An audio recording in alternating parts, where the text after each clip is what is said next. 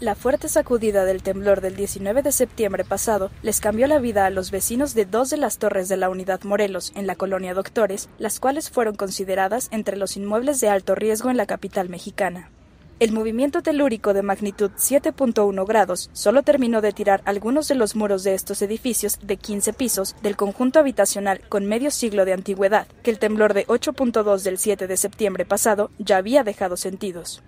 En el resto de la colonia Doctores, los daños causados por los recientes sismos son prácticamente menores, y si bien hay unos cinco inmuebles considerados como de alto riesgo, a diferencia del temblor de 1985, cuando fue una de las zonas más afectadas, esta ocasión resistió. Con información e imágenes de Ivonne Martínez, Notimex.